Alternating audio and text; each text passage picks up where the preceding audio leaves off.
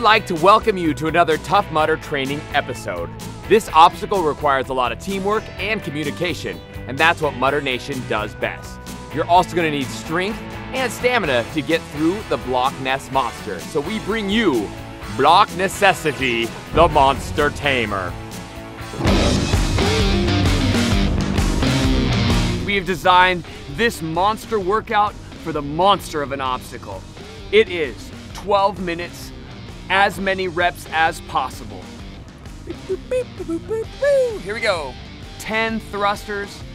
The thruster is going to be essential in getting through the Block Ness Monster, so we've brought in the thruster. To begin the thruster, we're going to bring our feet just outside hip width. We're gonna bring our elbows right underneath your odd object. When we squats down, he's gonna bring his hips below parallel. Forcibly, explosively, he's going to drive hard and extend his arms fully over the top of his head. Back down and we're gonna repeat for all 10 reps. Good job, coach. 10 pull-ups.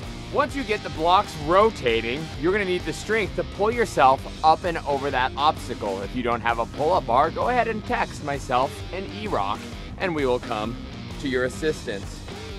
Now, hanging from the bar, you're gonna bring your chin up over the bar, dropping yourself back down to full extension. Very good. A modification, E-Rock, bend your legs a little bit, would be a jumping pull-up. Same range of motion, but using your legs a little bit to help. 20 flutter kicks. For the block ness monster, you're gonna need lots of core strength, so we've brought in the flutter kick. You're gonna start with your body flat on the ground. First off, tuck your hands underneath your butt. Bring your shoulders slightly off the ground, and then we're gonna alternate our feet up to approximately 24 inches, and then down to two inches off the ground. Alternate. The key here is to keep the shoulders up and keep the feet moving for all the reps. We're building that core strength all the way from the knees to the abs. We have given you the tools. It's up to you to get your team together and do the work.